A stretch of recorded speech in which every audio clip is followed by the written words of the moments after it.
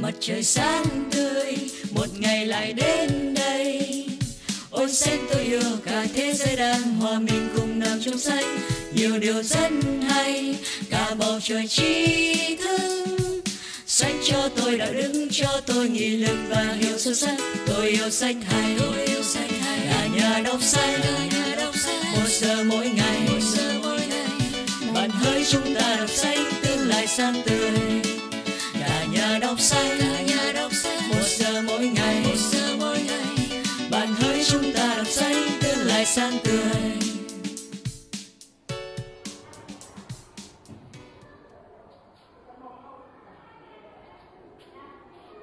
Xin chào thầy cô giáo và tất cả các bạn. Tôi là Nguyễn Hảo Chi, đến từ lớp 2B, trường tiểu học Nghĩa Trung. Đến với ngày hội đọc sách hôm nay, tôi rất sung sướng và tự hào bởi vì tôi yêu sách, yêu hơn tất cả những món đồ chơi mà tôi có. Từ khi biết đọc, lúc nào tôi cũng chỉ ao ước có thật nhiều sách. Tôi xin giới thiệu với các bạn quyển sách mà tôi yêu thích nhất nhé. Tôi luôn mang theo mình quyển Mười vạn câu hỏi vì sao của nhà xuất bản phụ nữ phát hành. Cuốn sách có kích cỡ như quyển vở học sinh. Bên ngoài có hình ảnh hai bạn nhỏ đang ngồi chơi dưới bóng cây xinh mát. Nét mặt đầy vẻ ngạc nhiên, thích thú.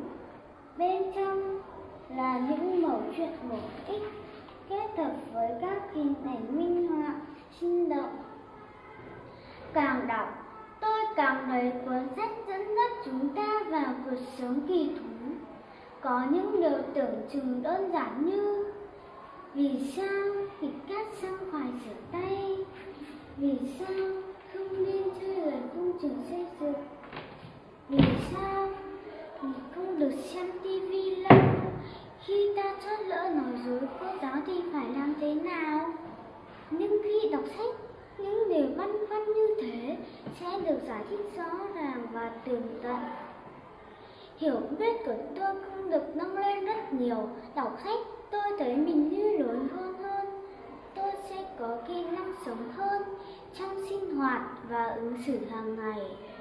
Tôi thấy để trở thành cô bé hiểu chuyện, ngoan ngoãn và thông minh cũng không hề khó. Mình làm theo hướng dẫn trong sách là được thôi. Các bạn hãy tìm đọc quyển sách này nhé. Mình tin các bạn sẽ yêu thích sách như mình. Chúng ta hãy sưu tầm thật nhiều sách để tủ sách của chúng mình ngày càng phong phú và lan tỏa nhiều lòng ham mê đọc sách nhé. Cuối cùng, xin chúc thầy cô giáo và tất cả các bạn có một ngày hội đọc sách thật vui vẻ và hạnh phúc. Xin chân thành cảm ơn.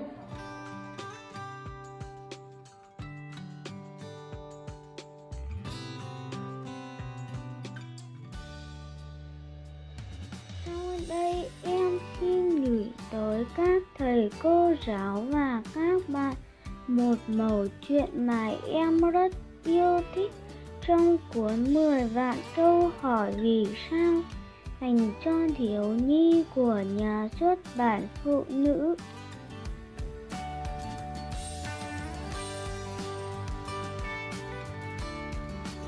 Vì sao nghịch cát xong phải rửa tay? Hạnh cùng bố mẹ đi nghỉ bên bờ biển. Cát trên bãi biển vừa mềm, vừa mịn. Hạnh thích nhất là xây lâu đài cát. Cô bé chơi suốt cả một ngày Bữa tối cũng ăn rất ngon miệng, Nhưng ăn xong được một lúc là hạnh không ngừng kêu đau bụng Mẹ nói, chắc là sau khi nghịch cát không rửa tay sạch sẽ. Đúng vậy, sau khi nhịp cát nhất định phải rửa tay thật sạch. Bởi vì trong cát có rất nhiều vi khuẩn mà mắt thường không nhìn thấy. Sau khi chạm tay vào cát nếu không rửa sạch vi khuẩn sẽ xâm nhập vào cơ thể khiến con người sinh bệnh. Như vậy qua câu chuyện các bạn nhỏ hãy nhớ phải rửa tay sạch sẽ sau khi nghịch cát xong nhé. Chú vẫn là Hồ Chí Minh, quan trung luôn thế bình, nói gương theo vĩ nhân, trong và ngoài nước, Newton Edison,